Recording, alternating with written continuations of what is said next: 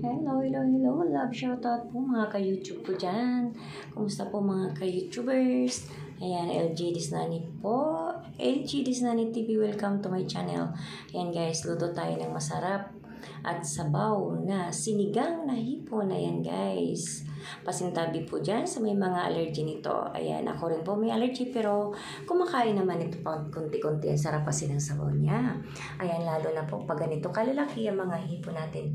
Ayan po mga sangkap natin dyan ay kamatis, sibuyas, luya, bawang, green chili, at lemongrass. Ayan masarap po may meron ng lemongrass at ang da- dahon natin sahog ay ang kangkong. Ayan, with kamatis. At syempre, hindi mawawala ang ating pang timpla dyan na asin at pamienta.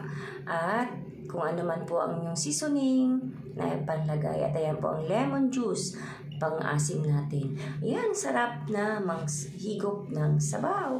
Kainan na po tayo. Ayan po ang masarap na ating sinigang na hipon. Yan, timpla na po tayo.